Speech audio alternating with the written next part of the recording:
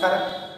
എല്ലാ വിദ്യാർത്ഥികൾക്കും അക്കാഡമിയുടെ ഓൺലൈൻ ക്ലാസ്സിലേക്ക് സ്വാഗതം കഴിഞ്ഞ ദിവസം നമ്മൾ ഒന്നാമത്തെ അധ്യായത്തിന്റെ പകുതി പഠിപ്പിച്ച് നിർത്തിയായിരുന്നു അപ്പം അന്ന് നാല് ചോദ്യങ്ങൾ നിങ്ങൾക്ക് നൽകിയിരുന്നു ആ ചോദ്യങ്ങൾ ഓർമ്മ കാണുമല്ലോ? അതായത് ഫിസിക്കൽ ജോഗ്രഫിയും ഹ്യൂമൻ ജോഗ്രഫിയും തമ്മിലുള്ള വ്യത്യാസം. അതെന്താണ് എന്ന് നിങ്ങൾ കണ്ടെത്തി മനസ്സിലാക്കി കാണുമെന്ന് വിശ്വസിക്കും രണ്ടാമതായിട്ടുള്ള ചോദ്യം എൻവയോൺമെന്റ് ഡിറ്റർമിനിസവും അതേപോലെ പോസിബിലിസവുമായി. സാധ്യതാ സിദ്ധാന്തവും പാരിസ്ഥിതിക വിധിവിശ്വാസവും മൂന്നാമത് നാച്ചുറലൈസേഷൻ ഓഫ് ഹ്യൂമനും ഹ്യൂമനൈസേഷൻ ഓഫ് നാച്ചർ. പ്രകൃതിയുടെ മാനവൽക്കരണവും അതേപോലെ തന്നെ മനുഷ്യന്റെ പ്രകൃതിവൽക്കരണവും. അവയും എന്താണെന്ന് നിങ്ങൾ മനസ്സിലായി കാണും. അതിന്റെ ആൻസർ നിങ്ങൾ കണ്ടെത്തിയിട്ടുണ്ടാകും അവസാനമായിട്ട് neo determinism what is neo determinism നവവിധി വിശ്വാസം എന്ത്? എന്ന് ഒരു ചോദ്യം നൽകി അപ്പൊ ഇതിന്റെ അടിസ്ഥാനത്തിൽ നമുക്ക് ഇനി അതിന്റെ ബാലൻസ് ബാക്കി ഭാഗം ഇത് നമുക്ക് ഇവിടെ ചർച്ച ചെയ്യാം. അതോടുകൂടി ഇന്നത്തെ ക്ലാസ്സോടുകൂടി തന്നെ ഒന്നാമത്തെ അധ്യായം അതായത് ഹ്യൂമൻ ജോഗ്രഫിയുടെ നാച്ചുറൽ സ്കോപ്പ് എന്നുള്ള ആ അധ്യായം ഇവിടെ അവസാനിക്കും. അപ്പോൾ നമുക്ക് ഇന്നത്തെ അധ്യായത്തിലേക്ക് കിടക്കാം. ഇന്ന് നമ്മൾ പഠിക്കുന്നത് human geography through the corridors of time അതായത് മാനവിക ഭൂമിശാസ്ത്രത്തിന്റെ കാലഘട്ടങ്ങളിലൂടെയുള്ള അതിന്റെ സഞ്ചാരത്തിൽ അപ്പൊ അത് നിങ്ങൾ പരിശോധിച്ചാൽ ഭൂമിശാസ്ത്രത്തിന്റെ കാലഘട്ടങ്ങളിലൂടെയുള്ള സഞ്ചാരം നമ്മൾ പരിശോധിക്കുമ്പോൾ മനുഷ്യനും പരിസ്ഥിതിയും തമ്മിലുള്ള പരസ്പര ബന്ധം ആണ് മാനവിക ഭൂമിശാസ്ത്രത്തിന്റെ അടിസ്ഥാനം എന്ന് നിങ്ങൾക്ക് മനസ്സിലാക്കും അപ്പം മനുഷ്യനും പ്രകൃതിയും തമ്മിൽ വളരെ അടുത്ത ഒരു ബന്ധമാണുള്ളത്. അതാണ് മാനവിക ഭൂമിശാസ്ത്രത്തിന്റെ അടിസ്ഥാനമായിട്ട് പറയുന്നത്. The beginning of human geography with the interaction of environment and human life ഇതാണ് അതിന്റെ അടിസ്ഥാനമെന്ന് നിങ്ങൾക്ക് മനസ്സിലാക്കും ഇനി മാനവിക ഭൂമിശാസ്ത്രത്തോടുള്ള നമ്മുടെ സമീപനത്തിൽ കാലഘട്ടങ്ങൾ കഴിയും തോറും മാറ്റങ്ങൾ അതും സത്യമാണ്. It concerns the human geography have a long tempered continuum through its approaches to articulate them have change over time കാലഘട്ടങ്ങൾ മാറുന്നതനുസരിച്ച് അല്ലെങ്കിൽ കാലത്തിന്റെ മാറ്റത്തിനനുസരിച്ച് മാനവിക ഭൂമിശാസ്ത്രത്തിലെ അതായത് നമ്മളൊക്കെയുള്ള സമീപനത്തിലും മനുഷ്യർക്ക് പ്രകൃതിയോടുള്ള സമീപനത്തിലും മാറ്റങ്ങൾ ഉണ്ടായിട്ടുണ്ട്.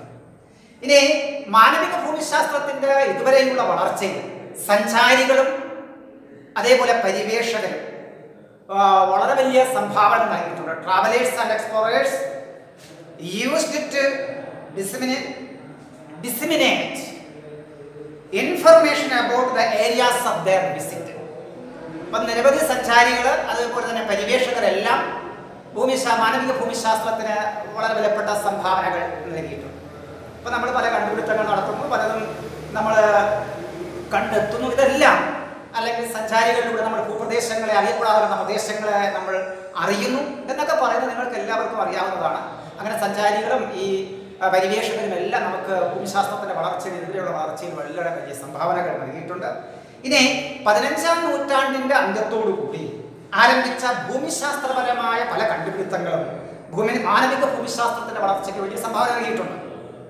അതായത് late fifteen century witness attempt of exploration in Europe and slowly the myths and mysteries about the countries and people started to open.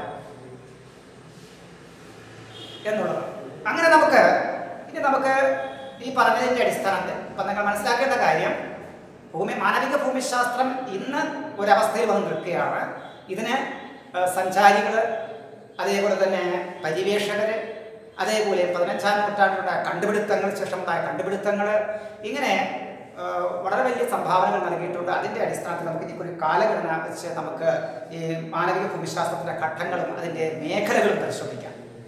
അപ്പം ഓരോ ഘട്ടമായിട്ട് നമുക്ക് നാല് ഘട്ടങ്ങളാണ് കൊടുത്തിരിക്കുന്നത്. ഒന്ന് കോളനിവൽക്കരണത്തിന് മുൻപുള്ള ഘട്ടം കോളനിവൽക്കരണത്തിന് ശേഷമുള്ള ഘട്ടം അതേപോലെ ആയിരത്തി തൊള്ളായിരത്തി മുപ്പതുകൾക്ക് ശേഷമുള്ള ഒരു ഘട്ടം അപ്പോൾ മാനവീയ ഭൂമിശാസ്ത്രത്തിന്റെ ഘട്ടങ്ങളിലൂടെ നമുക്കൊന്ന് കടന്നു പോകാം.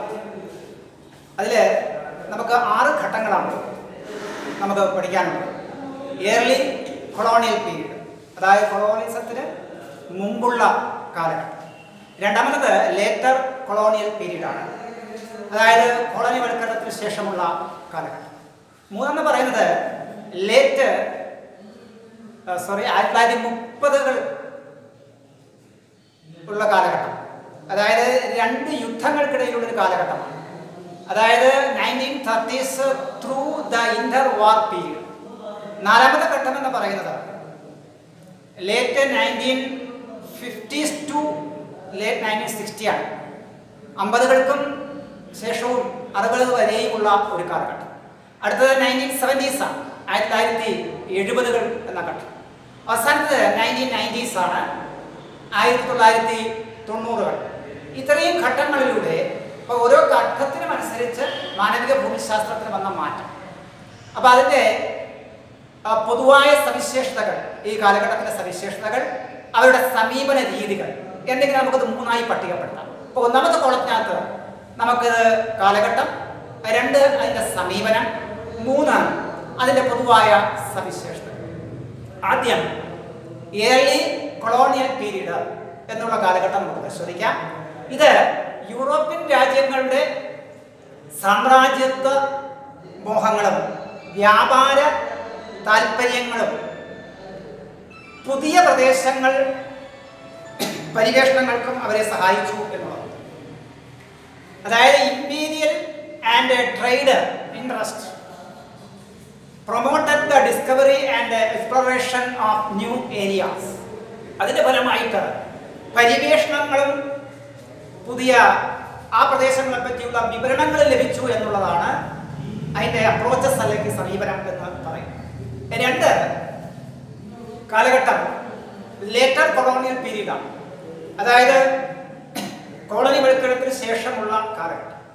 അതിന്റെ പൊതുവായ സവിശേഷതകൾ നമ്മൾ പരിശോധിച്ചാൽ ഓരോ പ്രദേശത്തിന്റെയും വിശദമായും സമ്പൂർണവുമായ വിവരങ്ങൾ അവർക്ക് ഭൂമിശാസ്ത്രകാരന്മാർ നൽകി എന്നതാണ് elaborate description of all aspects of region of a region were undertake അപ്പോൾ അവരുടെ അതിന്റെ പരമായുള്ള സമീപനം ഒരു പ്രദേശത്തെ പറ്റിയുള്ള അപഗ്രഥനമാണ് സാധ്യമായത് മൂന്ന് nineteen thirties through the inter war period രണ്ട് ലോകമഹായുദ്ധങ്ങൾക്കിടയിലുണ്ടായ ഒരു കാലഘട്ടം. അവിടെ ഓരോ പ്രദേശത്തിന്റെയും തന്നെ സവിശേഷതകൾ എന്ത്? എന്ന് കണ്ടെത്തുക അത് മറ്റു പ്രദേശങ്ങളിൽ നിന്ന് എങ്ങനെ തികച്ചും വ്യത്യസ്തമായിരിക്കുന്നു എന്ന് മനസ്സിലാക്കാം. The focus was on identifying the uniqueness of any region and understanding how and why it was different from others അപ്പോൾ ആ രീതിയിൽ എടുക്കുമ്പോൾ ഒരു പ്രദേശത്തെ അവർ കണ്ടെത്തുന്നു ആ പ്രദേശത്തെ പറ്റിയുള്ള വിശദവും സമ്പൂർണമായ വിവരങ്ങൾ നൽകുന്നു. അത് മറ്റൊരു പ്രദേശവുമായി തികച്ചും ഇങ്ങനെ വ്യത്യാസപ്പെട്ടിരിക്കുന്നു. അതിന്റെ അടിസ്ഥാനത്തിൽ അവരുടെ സമീപനം പ്രാദേശിക വ്യത്യാസങ്ങളുടെ കണ്ടെത്തലാണ്. രണ്ട് പ്രദേശങ്ങൾ എപ്രകാരം വ്യത്യാസപ്പെട്ടിരിക്കുന്നു എന്ന് മനസ്സിലാക്കാൻ സാധിച്ചു എന്നുള്ളതാണ്. അടുത്ത മൂന്നാമത്തത് ലേറ്റ് നയന്റീൻ ഫിഫ്റ്റീസ് ആണ്. Marked by the use of computers and sophisticated statistical tools അതുപോലെ laws of physics were often applied to map and analyse of human phenomena this phase was called quantitative revolution എന്നാണ്. അതായത് കമ്പ്യൂട്ടറുകളുടെയും മറ്റ് സാഖ്യ ഉപകരണങ്ങൾ ഉപയോഗിച്ചുകൊണ്ട് ഭൂമിശാസ്ത്രകാരന്മാർ ശ്രദ്ധേയമായ ഒരു കാലഘട്ടത്തിലൂടെ കടന്നുപോയി. അതിനു വേണ്ടിയിട്ട് അവർ ഭൗതിക ഭൂമിശാസ്ത്രത്തിന്റെ സാധ്യതകൾ തന്നെ ഉപയോഗപ്പെടുത്തി ഭൂപടങ്ങളും മറ്റും നിർമ്മിക്കുന്നതിന് വേണ്ടി. ഈ കാലഘട്ടത്തെ അവർക്ക് മാത്രാത്മക വിപ്ലവം എന്നാണ് വിളിക്കുക. അതിന്റെ ഫലമായിട്ട് സ്പേഷ്യൽ ഓർഗനൈസേഷൻ ഓർഗനൈസേഷൻ സംഭവിച്ചു എന്നുള്ളതാണ്. അതിന്റെ അപ്രോച്ചസ് എന്ന് പറഞ്ഞു.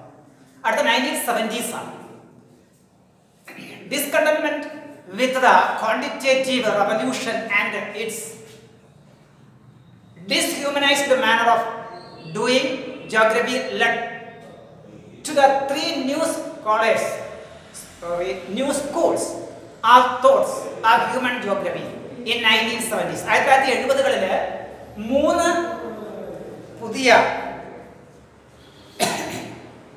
ചിന്താധാരകൾ ആവിർഭവിക്കുകയുണ്ടായി അതാണ് emergence of humanistic radical and behaviour schools അപ്പൊ ഇതാണ് അതിന്റെ അപ്രോച്ചസ് എന്ന് പറഞ്ഞത്. ഈ കാലഘട്ടത്തിൽ മൂന്ന് ചിന്താധാരകളുടെ ആവിർഭാവം ഉണ്ടായി. ഹ്യൂമാനിസം റാഡിക്കലിസം ബിഹേവിയറിസം അത് എന്ത് എന്ന് ഇതിനുശേഷം നമ്മൾ അങ്ങോട്ട് ചർച്ച ചെയ്തതാണ് ഇനി അവസാനത്തെ നയന്റീൻ നയന്റീസ് ആണ്. അതെന്ന് പറയുന്നത് grand generalisation and applicability of of universal to explain the human conditions conditions question. അപ്പൊ അതിന്റെ ഫലമായിട്ട് ഇവിടെ മാനുഷിക വ്യവസ്ഥകളെ വിശദീകരിക്കുന്ന വലിയ സാമാന്യവൽക്കരണങ്ങളും മഹത് സിദ്ധാന്തങ്ങളെയും ഭൂമിശാസ്ത്രകാരന്മാർ ചോദ്യം ചെയ്തു അപ്പോൾ അവിടുത്തെ സമീപനം എന്ന് പറയുന്ന ഭൂമിശാസ്ത്രത്തിലെ ഉത്തര ആധുനികവാദമാണ്. ഇങ്ങനെ ആറ് ഘട്ടങ്ങളിലൂടെ ഭൂമിശാസ്ത്രം കടന്നു. ഓരോ ഘട്ടത്തിലും നിങ്ങൾ പരിശോധിക്കുമ്പോൾ അതിൽ വന്ന മാറ്റങ്ങൾ നിങ്ങൾക്കറിയാം. ഏർലി കൊളോണിയൽ പീരീഡിൽ എന്ന് പറയുമ്പോൾ സാമ്രാജ്യത്വ മോഹങ്ങളും അതേപോലെ തന്നെ അവർ വ്യാപാര മോഹങ്ങളുമാണ്. അപ്പോൾ അതെന്ന് പറയുന്നത് പ്രദേശങ്ങളുടെ കണ്ടെത്തലുകളും അതേപോലെ ചൂഷണവുമായിരുന്നു. രണ്ട് ലേറ്റർ കൊളോണിയൽ പീരീഡാണ് സാമ്രാജ്യത്വ സാമൂഹ സാമ്രാജ്യത്വത്തിന് ശേഷം. അവിടെ അവർ പ്രദേശങ്ങളെപ്പറ്റി ഉള്ള വിശദമായിട്ടുള്ള സമ്പൂർണവുമായ വിവരങ്ങൾ ശാസ്ത്രകാരന്മാർ നൽകി അല്ലെങ്കിൽ ഭൂമിശാസ്ത്രത്തിൽ നൽകി. അപ്പോൾ അവിടെ എന്ന് പറയുന്നത് റീജിയൻ അനാലിസിസ് ആണ് നടന്നിരിക്കുന്നത്. പ്രദേശങ്ങളെ കുറിച്ചുള്ള അപഗ്രഥനം. മൂന്നാമത്തെ നമ്മൾ പറഞ്ഞ നയന്റീൻ തേർട്ടീസ് ആണ്. രണ്ട് വാറുകൾക്ക് ഒന്നും രണ്ടും ലോക മഹായുദ്ധങ്ങൾക്കിടയിലുള്ള കാലഘട്ടം.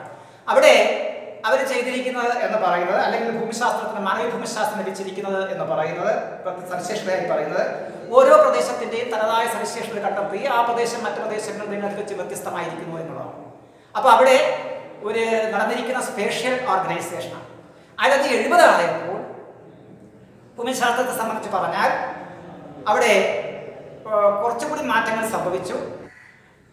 ലേറ്റ് നയന്റീൻ ഫിഫ്റ്റീസ് ആണ് to the late nineteen sixties അപ്പോൾ അവിടെ കമ്പ്യൂട്ടറുകളുടെയും മറ്റ് സാഖ്യ ഉപകരണങ്ങളുടെയും സഹായത്തോടു കൂടി ശാസ്ത്രകാരൻ ഒരു പ്രദേശത്തെ സംബന്ധിക്കുന്ന വിശദമായിട്ടുള്ള വിവരങ്ങൾ ഭൂമിശാസ്ത്രത്തിന് നൽകി എന്നുള്ളതാണ് അത് മാത്രമല്ല ഭൗതിക ഭൂമിശാസ്ത്രത്തിന്റെ സഹായം കൂടി അവർ ഉൾപ്പെടുത്തിക്കൊണ്ട് അല്ലെങ്കിൽ സഹായത്തോടു കൂടി ഭൂപടങ്ങൾ തയ്യാറാക്കാനും മറ്റും ഭൂമിശാസ്ത്രം സഹായിച്ചു എന്നതാണ്.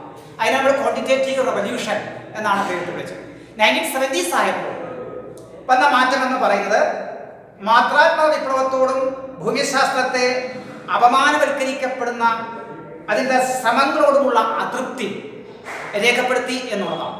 അതിന് ഫലമായിട്ട് അവിടെ ഉണ്ടായ അപ്രോച്ചസ് സമീപനം എന്ന് പറയുന്നത് മൂന്ന് ചിന്താധാരകളുടെ ഉത്ഭവമാണ്. Emergence human humanistic radical and behaviour schools പിന്നെ ലാസ്റ്റ് നമ്മൾ പറഞ്ഞ നയന്റീൻസ് നയന്റീസ് ആണ്.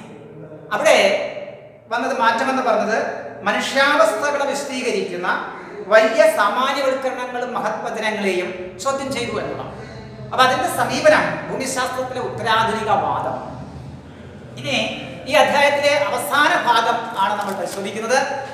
അത് human geography and system discipline of social science എന്നുള്ളതാണ്. അതായത് അത് പറയുന്നതിന് മുൻപായിട്ട് നമ്മൾ കഴിഞ്ഞ തൊട്ടു മുമ്പ് പറഞ്ഞ ചോദ്യത്തിൽ ഏറ്റവും അവസാനത്തിന് തൊട്ടു മുമ്പായുള്ള നമ്മൾ പറഞ്ഞു ഹ്യൂമാനിസം റാഡിക്കലിസം ആൻഡ് ബിഹേവിയറിസം എന്നീ മൂന്ന് പുതിയ ചിന്താധാരകളെ പറ്റി നമ്മൾ പറഞ്ഞായിരുന്നു. അത് എന്ത് എന്ന് നമുക്ക് അടുത്തതായിട്ട് പരിശോധിക്കാം. അപ്പോഴേ നമ്മൾ ഇനിയിപ്പോൾ പഠിക്കാൻ പോകുന്നത് humanism radicalism and behaviourism humanism എന്ന് പറയുന്നത് welfare or humanistic school of thoughts of human geography has mainly concerned with the different aspects ആ social wellbeing of the people example housing health and education അതായത് ജനങ്ങളുടെ സാമൂഹിക ക്ഷേമത്തിന് ഊന്നൽ നൽകുന്ന ഒരു ചിന്താധാരയാണ് ഹ്യൂമാനിസം അതായത് ഭവനം ആരോഗ്യം വിദ്യാഭ്യാസം തുടങ്ങിയ ജനങ്ങളുടെ ക്ഷേമവുമായി ബന്ധപ്പെട്ട കാര്യങ്ങൾക്കാണ് ഇത് പ്രാധാന്യം കൊടുക്കുന്നത്. അപ്പം മനുഷ്യന്റെ ഏഹ്, ക്ഷേമത്തിന് പ്രാധാന്യം കൊടുക്കുന്നു എന്നുള്ളതാണ് ഇതിൽ നിങ്ങൾ മനസ്സിലാക്കേണ്ടത്. അടുത്തത് radicalism radical school of thoughts അത് employed Marxian theory to explain the basic cause of poverty അതേപോലെ ഡിപ്രവേഷൻ അതേപോലെ സോഷ്യൽ ഇൻഇക്വാളിറ്റി അതായത് മാർക്സിയൻ സിദ്ധാന്തം ഉപയോഗപ്പെടുത്തിക്കൊണ്ട് അല്ലെങ്കിൽ ആ ചിന്താധാരകളുടെ ദാരിദ്ര്യം മനുഷ്യന്റെ ഇല്ലായ്മ സാമൂഹിക അസമത്വം എന്നിവയുടെ കാര്യങ്ങൾ പരിശോധിക്കുന്നത് അല്ലെങ്കിൽ പഠിക്കുന്നതാണ് റാഡിക്കലിസം എന്ന് പറയുന്നത്.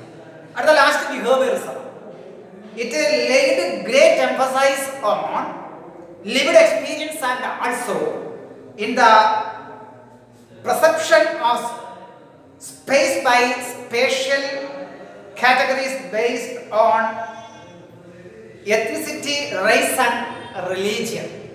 അതായത് മനുഷ്യന്റെ ജീവിത അനുഭവങ്ങൾക്ക് ഊന്നൽ നൽകുന്നു വംശം അതേപോലെ വർഗം അതേപോലെ മതം എന്നിവയെ അടിസ്ഥാനത്തിൽ സാമൂഹിക ആവശ്യങ്ങളെ അതിന്റെ മനോഭാവങ്ങൾക്കും ഇത് പ്രാധാന്യം അപ്പോൾ വംശം വർഗം മതം എന്നിവയുടെ അടിസ്ഥാനത്തിൽ മനുഷ്യന്റെ ജീവിതാനുഭവങ്ങൾക്ക് ഊന്നൽ നൽകുന്ന ഇതാകുന്നു ബിഹേവിയറിസം എന്ന് പറയും. ഇനി നമുക്ക് അവസാന ചോദ്യത്തിലേക്ക് കടക്കാം.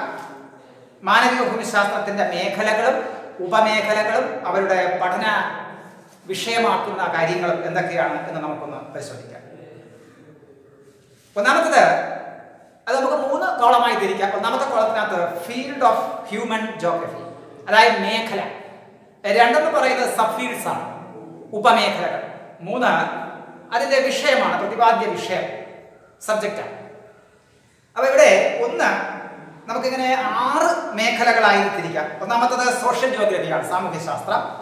രണ്ട് അർബൻ ജോഗ്രഫിയാണ് നഗരഭൂമിശാസ്ത്രം. മൂന്ന് പൊളിറ്റിക്കൽ ജോഗ്രഫി രാഷ്ട്രീയ ഭൂമിശാസ്ത്രം. നാല് പോപ്പുലേഷൻ ജോഗ്രഫി ജനസംഖ്യ ഭൂമിശാസ്ത്രം. അഞ്ചെന്ന് പറയുന്നത് സെറ്റിൽമെന്റ് ജോഗ്രഫി അധിവാസ ഭൂമിശാസ്ത്രം. ലാസ്റ്റ് എന്ന് പറയുന്നത് എക്കണോമിക് ജോഗ്രഫി അല്ലെങ്കിൽ സാമ്പത്തിക ഭൂമിശാസ്ത്രം. അത് നമുക്ക് ഓരോ മേഖലകളായി പരിശോധിക്കാം. അതിന്റെ ഉപമേഖലയും അതിന്റെ പ്രതിപാദ്യ വിഷയവും ഏത് എന്ന് നമ്മൾ പരിശോധിച്ചുകൊണ്ട് നമുക്ക് ഈ അധ്യായം ഇന്നത്തെ അവസാനിപ്പിക്കാൻ സാധിക്കും. ഒന്ന് സോഷ്യൽ ജോഗ്രഫിയാണ് അതിന്റെ ഉപമേഖലകൾ ഒന്ന് ബിഹേവിയറൽ ജോഗ്രഫിയാണ് എന്ന് പറഞ്ഞാൽ പെരുമാറ്റ ഭൂമിശാസ്ത്രം. അതിന്റെ വിഷയമെന്ന് പറയുന്നത് സാമൂഹ്യ ശാസ്ത്രമാണ് സോഷ്യോളജി രണ്ടെന്ന് പറയുന്ന ഉപമേഖല ജോഗ്രഫി ഓഫ് സോഷ്യൽ വെൽബീയിങ് അതായത് സാമൂഹിക ക്ഷേമ ഭൂമി ശാസ്ത്രം. അതിന്റെ പ്രതിപാദ്യ വിഷയത്തിൽ വരുന്നത് ക്ഷേമ സാമ്പത്തിക ശാസ്ത്രമാണ്. അതായത് വെൽഫെയർ എക്കണോമിക്സ് എന്നുള്ളതാണ്. അടുത്ത മൂന്നാമത്തെ ഉപമേഖല ജോഗ്രഫി ഓഫ് ലഷറ അതായത് വിശ്രമ ഭൂമിശാസ്ത്രം വിശ്രമ ഭൂമിശാസ്ത്രം അതിന്റെ വിഷയം സോഷ്യോളജിയാണ് സാമൂഹിക ശാസ്ത്രം. ഇനി അടുത്ത ഉപമേഖല കൾച്ചറൽ ജോഗ്രഫിയാണ് സാംസ്കാരിക ഭൂമിശാസ്ത്രം അതിന്റെ വിഷയം നരവംശാസ്ത്രമാണ് അതായത് ആന്ത്രോപോളജി ഇനി അടുത്തത് ജെൻഡർ ജോഗ്രഫിയാണ് അതായത് ലിംഗഭേദ ഭൂമിശാസ്ത്രം.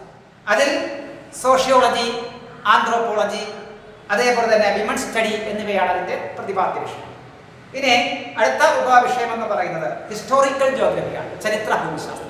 അപ്പോൾ അതിന്റെ പ്രതിപാദ്യ വിഷയം ചരിത്രമാണ് ഹിസ്റ്ററിയാണ് അടുത്ത മെഡിക്കൽ ജോഗ്രഫിയാണ് അതായത് വൈദ്യശാസ്ത്രം വൈദ്യ ഭൂമിശാസ്ത്രം.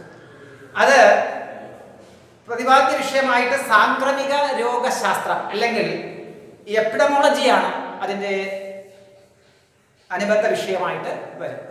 ഇനി രണ്ടാമത്തെ മേഖല അല്ലെങ്കിൽ ഫീൽഡ് ഏതാ നമുക്ക് പരിശോധിക്കാം. അർബൻ ജോഗ്രഫി അർബൻ ജോഗ്രഫിയിൽ അതിന് ഉപമേഖലയില്ല. അപ്പൊ അതിന്റെ പ്രതിപാദ്യ വിഷയം അർബൻ സ്റ്റഡീസ് ആൻഡ് പ്ലാനിംഗ് ആണ്. നഗര പഠനവും ആസൂത്രണം.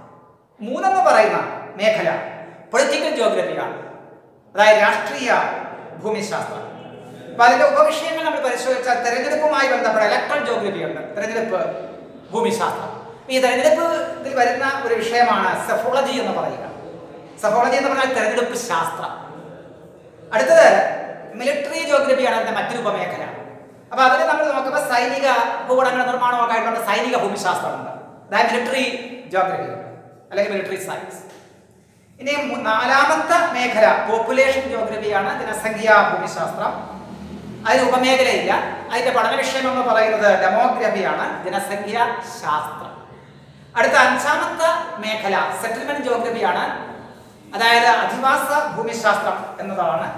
അതിൽ നഗര ഗ്രാമ ആസൂത്രണം എന്നുള്ളതാണ് അതിന്റെ അനുബന്ധ വിഷയം അർബൻ ആൻഡ് റൂറൽ പ്ലാനിംഗ് അടുത്ത ലാസ്റ്റ് എക്കണോമിക് ജോഗ്രഫിയാണ് സാമ്പത്തിക ഭൂമി ശാസ്ത്രം അതിന്റെ ഉപവിഷയങ്ങളായിട്ട് ഒന്ന് ജോഗ്രഫി ഓഫ് റിസോഴ്സ് ആണ്. അതായത് വിഭവ ഭൂമിശാസ്ത്രം. അതിന്റെ പഠന വിഷയം എന്ന് പറയുന്ന വിഭവ സാമ്പത്തിക ശാസ്ത്രമാണ്. അതായത് റിസോഴ്സ് എക്കണോമിക്സ് ആണ്. ഇനി ഇതിലെ അടുത്ത ഉപവിഷയം എന്ന് പറയുന്നത് ജോഗ്രഫി ഓഫ് അഗ്രികൾച്ചർ ആണ്. അതായത് കാർഷിക ഭൂമിശാസ്ത്രം. അതിന്റെ പഠന മേഖലയിൽ കാർഷിക ശാസ്ത്രങ്ങളാണ് വരിക ഇനി അടുത്ത ഉപമേഖല ജോഗ്രഫി ഓഫ് ഇൻഡസ്ട്രീസ് ആണ്. വ്യാവസായിക ഭൂമിശാസ്ത്രം. അതിന്റെ പഠന വിഷയമാക്കുന്നത് വ്യാവസായിക സാമ്പത്തിക കാര്യങ്ങളെ പറ്റിയാണ്. അതായത് ഇൻഡസ്ട്രിയൽ എക്കണോമിക്സ് ആണ് അവിടെ പഠന വിഷയമാക്കുന്നത് അടുത്ത ഉപമേഖല ജോഗ്രഫി മാർക്കറ്റിംഗ് ആണ്. അതായത് വിപണന ഭൂമിശാസ്ത്രമാണ്. അതായത് ബിസിനസ് പഠനങ്ങൾ അതേപോലെ തന്നെ സാമ്പത്തിക ശാസ്ത്രം വാണിജ്യ ശാസ്ത്രം തുടങ്ങിയ കാര്യങ്ങളെ പറ്റിയുള്ള പഠനമാണ്. ബിസിനസ് സ്റ്റഡീസ് എക്കണോമിക്സ് തുടങ്ങിയ കാര്യങ്ങളായിരിക്കും ഇതിനകത്ത് പഠന വിഷയമാണ് ഇനി മറ്റൊന്നെന്ന് പറയുന്നത് ഓഫ് ടൂറിസമാണ് അതായത് വിനോദ ഭൂമിശാസ്ത്രം എന്നതുകൊണ്ട് ഉദ്ദേശിക്കുക. ടൂറിസം ട്രാവൽ മാനേജ്മെന്റ് എന്നിവ പഠന വിഷയമാക്കുന്നു എന്നുള്ളതാണ്. അതിൽ അവസാനത്തെ ഉപവിഷയം എന്ന് പറഞ്ഞ ജോഗ്രഫിയ ഇന്റർനാഷണൽ ട്രേഡാണ് അന്തർദേശീയ വ്യാപാരം എന്ന് പറയുന്ന ഉപമേഖലയിൽ അത് പഠന വിഷയമാക്കുന്നത് അന്താരാഷ്ട്ര വ്യാപാരം തന്നെയാണ് ഇന്റർനാഷണൽ ട്രേഡ് അപ്പോൾ ഇവിടെ നിന്ന് നമ്മൾ അവസാനമായി പറഞ്ഞത് human geography and sister discipline of social science ആണ്. അതായത് ഭൂമി മാനവിക ഭൂമിശാസ്ത്രം അതിന്റെ അനുബന്ധ വിഷയങ്ങൾ അതിന്റെ പഠന മേഖലകൾ. എന്നുള്ള ഭാഗമാണ് നമ്മൾ പറഞ്ഞത്. അതിൽ ആറ് കാര്യങ്ങളാണ് പറഞ്ഞത്. Social geography urban geography political geography political geography settlement geography economic geography എന്നിവയെ അതും അതിന്റെ അനുബന്ധ വിഷയങ്ങൾ അത് പഠന വിഷയമാക്കുന്ന മേഖലകളും. അപ്പം നിങ്ങൾ ഇതോടുകൂടി നമ്മൾ ഈ അധ്യായം അവസാനിക്കുകയാണ്. ടെക്സ്റ്റ് ബുക്കിൽ ഈ ഭാഗം നന്നായിട്ട് ഒന്നോ രണ്ടോ പ്രാവശ്യം നിങ്ങൾ വായിച്ചു നോക്കുക. എന്നിട്ട് ഇതുമായി ബന്ധപ്പെട്ട് ഇന്ന് പറയുന്ന ചില ചോദ്യങ്ങൾ പറയുകയാണ്. ഒന്നാമത്തെ ചോദ്യം what are the broad stages and the thrust of human geography എന്നുള്ള ചോദ്യം. എന്താണ് ഭൂമിശാസ്ത്രത്തിന്റെ ആ, കാലഘട്ടം? ആ കാലഘട്ടങ്ങൾ ഏതൊക്കെയാണെന്നുള്ളത് കണ്ടെത്തുക രണ്ടാമത്തെ ചോദ്യം എന്ന് പറയുന്നത് ഐഡന്റിഫൈ ദ ഫോളോയിങ് ഒന്ന് സെഫോളജി എന്താണെന്ന് കണ്ടെത്തുക. അതേപോലെ തന്നെ സെറ്റിൽമെന്റ് ജോഗ്രഫി എന്താണ്? എന്നുള്ളത് കണ്ടെത്തുക. മൂന്നാമത്തെ ചോദ്യം. Change in approaches of human geography during nineteen seventies ആയിരത്തി തൊള്ളായിരത്തി എഴുപതുകളിൽ മാനവിക ഭൂമിശാസ്ത്രത്തിന് വന്ന മാറ്റം. ഈ മൂന്ന് ചോദ്യങ്ങളുടെ ഉത്തരം കണ്ടെത്തുക. എല്ലാവർക്കും അതോട് ഇന്നത്തെ ഈ ക്ലാസ് അവസാനിക്കുകയാണ്. അതോട് ഈ അധ്യായം അവസാനിച്ചിട്ടുണ്ട്. നമുക്ക് തുടർന്ന് അടുത്ത അധ്യായം. എല്ലാവർക്കും നമസ്കാരം.